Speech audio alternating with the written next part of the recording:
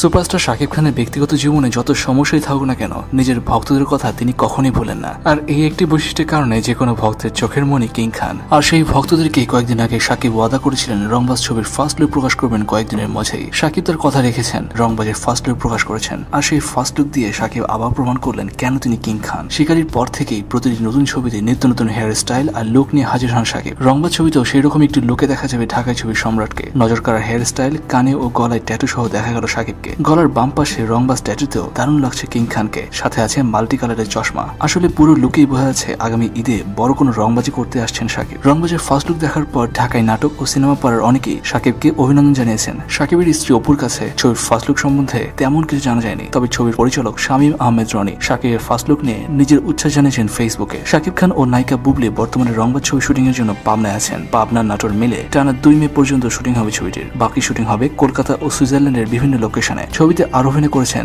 Liana লিয়া রজতাব দত্ত, নূতন সাতিক বাচ্চু সহ আরও অনেকে। দর্শক, আপনার কাছে শাকিব খানের রংবা ছবির ফার্স্ট লুক কেমন লাগল? আপনার কি মনে হয় এই ছবিটি পাল্লা দিতে পারবে সাকিব ঈদের অন্য ছবি? নবাবের সাথে জানান নিচে কমেন্ট সেকশনে আর শাকিব খানকে নিয়ে কোনো মিথ্যা বা ভিত্তিহীন খবরের জন্য নয়। শুধুমাত্র অথেন্টিক খবর জানার জন্য সাবস্ক্রাইব করুন খবর টিভিকে